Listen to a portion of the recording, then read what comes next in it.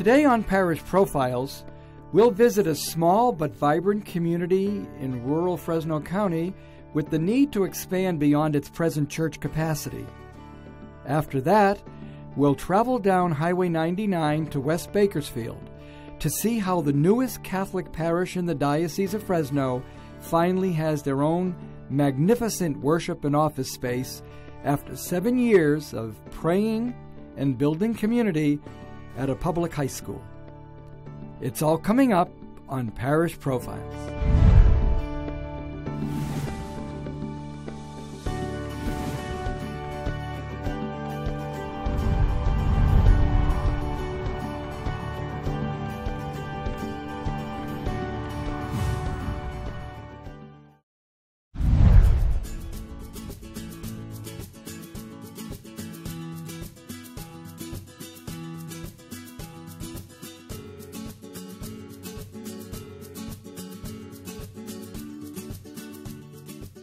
From its early days as a mission church in the early 1940s, St. Lucy's community has been rightly proud of its very rich artistic tradition.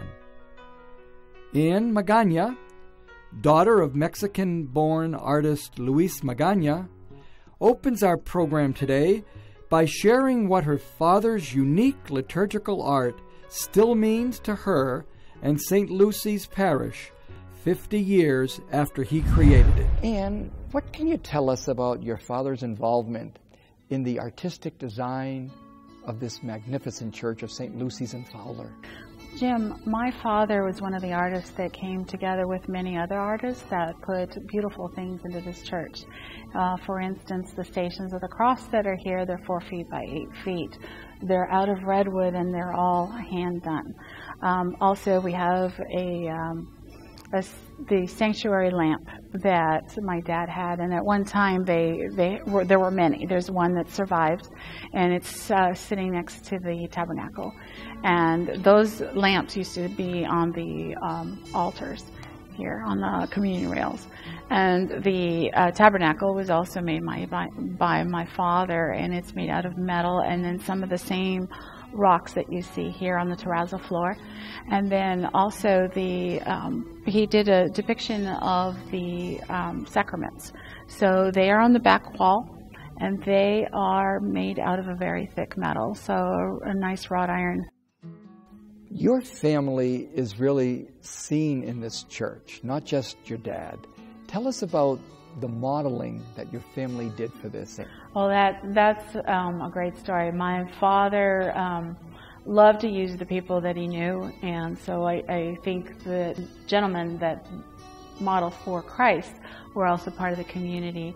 And then my mother, specifically, she was um, wherever you see a woman or the depiction of Mary um, she is the model for that um, those stations. And then my brother Stephen was a baby at the time, and he is the model for um, one of the uh, stations as well.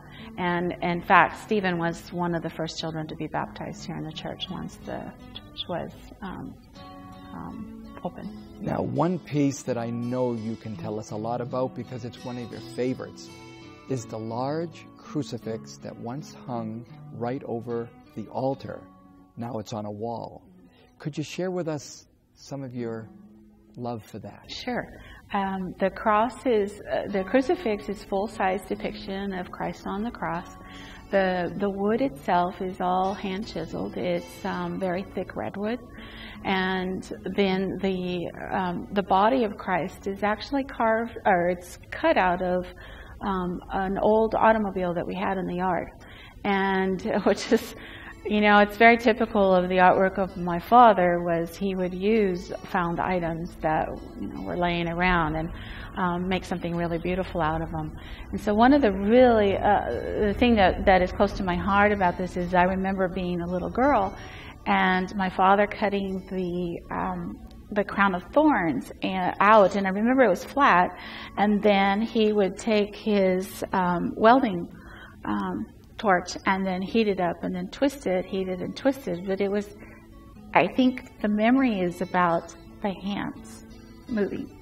It, and you know, if you think about it, you've got these you, this beautiful life in his hands, and he's bringing life to the, the, this crown of thorns, which is metal, and most people think of it as cold.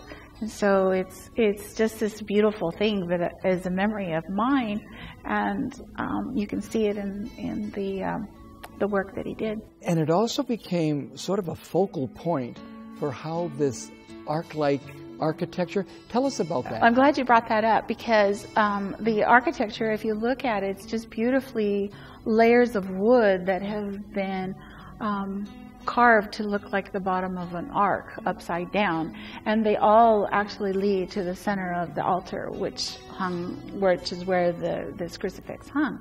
So it all comes together and it's just this, this beautiful um, sort of a circle of things. Everything comes together. You you have the lines drawing you to the center of the church, which is you know the most important part of this beautiful church. Now, one small detail is a veil, which is gorgeous, but it even has another backstory. Tell us about it. Well, um, you know, like the crucifix is my favorite, and so is the um, the veils. There are two stations of the cross that have this veil work on there. The veil has um, it's lace. It, it, the way my dad carved it was when you look at it, it's so um, thinly done. It's not carved deep into the wood. So it gives you that beautiful feeling of lace and lightness. And the, the pattern for that lace was actually off of um, a vestment that Father Van Loan wore here during that time. And it was at the bottom of his vestment, and it was actually tatted by his sister, who was a nun of the Netherlands. And your, your family has been affected by this, beginning with your dad, your mom, yourself, your siblings, your children. What effect personally has it had on your family to see your dad's work? Uh, us as family members know how amazingly um, gifted my father was. Um, this this church um, will live forever, and um, for us, it's just this huge sense of pride because you know even though we have art pieces, this is where my dad started. This is, you can tell by the Stations of the Cross that as he did them, um, they got better and better and better. And he's, he's all self taught. Um, I have twin boys, and I had brought them here for a service. And we started talking about the artwork and um, just showing how be- the beauty that, and the love that Grandpa put into all of this. And one of my sons said, You know, this is absolutely amazing, Mom. Says this is Grandpa's art gallery. It'll be here forever. You know, so um, you know, for us, it's just it, it, it, has followed through the generations. We have been married here. We have had um, first communions here in this family. Um, we have had baptisms in this family, and you know, and funerals and get-togethers and whatever else. Um, but it is a treasure. One final thought, Anne like Michelangelo, it seems like your dad did want to sign something in particular. Tell us about that station. Um, it is the last station. It's the Pietà uh, version of um, uh, my father's idea of how he wanted to finish the uh, Stations of the Cross.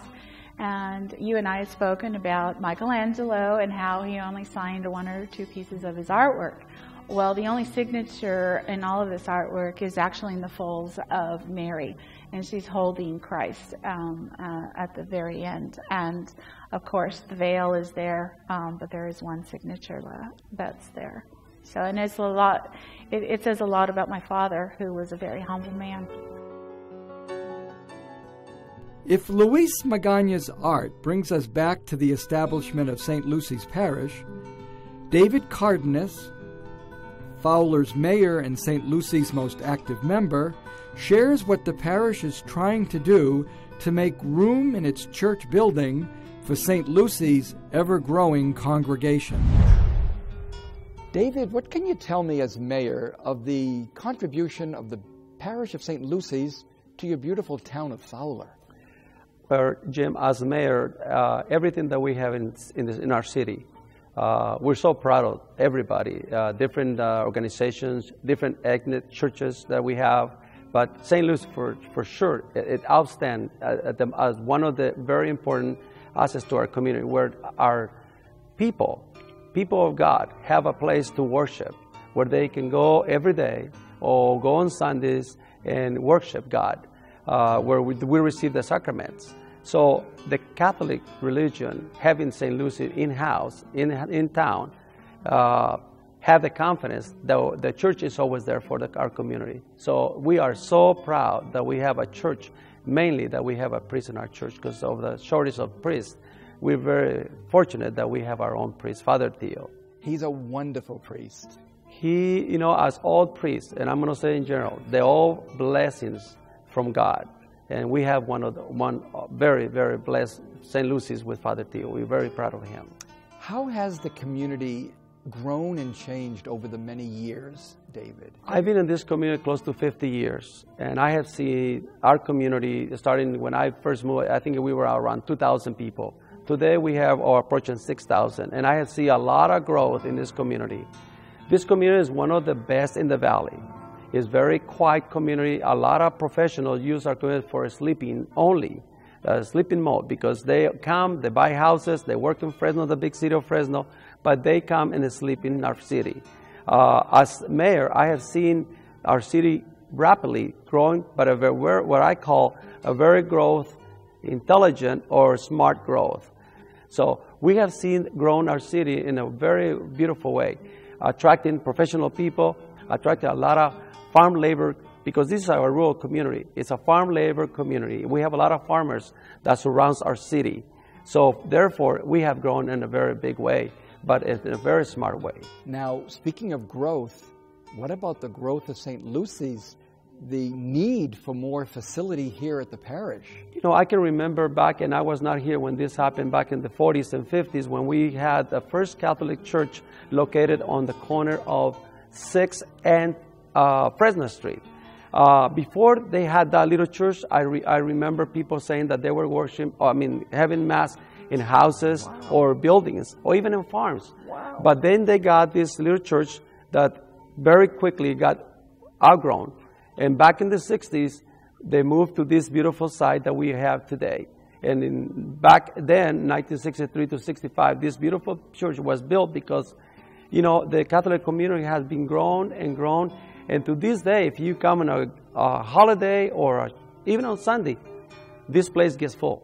And there's place, there's people outside to all the three. Look at this church.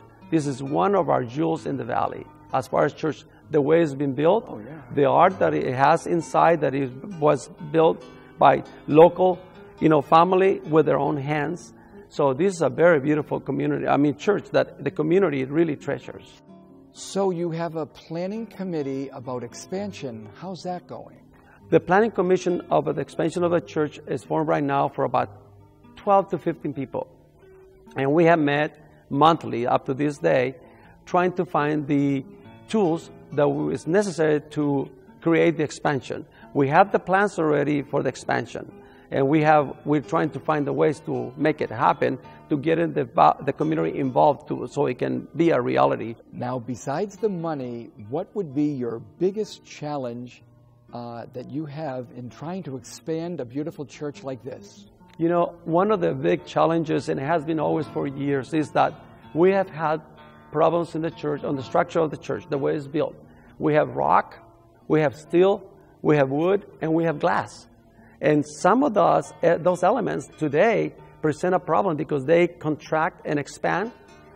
You know, and so one of the things very important that, uh, and I think the engineers are really having a little problem with, with today's materials, how are they going to be able to do the expansion bounding these elements that we have in place? But that's going to be a challenge that I leave that to the engineer department. The idea is between 80 to 100, and uh, the expansion will serve for the future of this community that keeps growing to help us go into the future for the next 25 to 50 years into the future.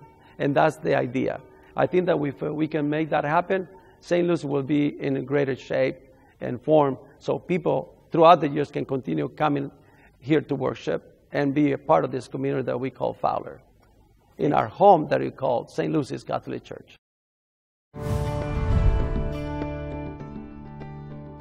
Bakersfield has always been the second largest city in the Diocese of Fresno, and year after year it continues to grow.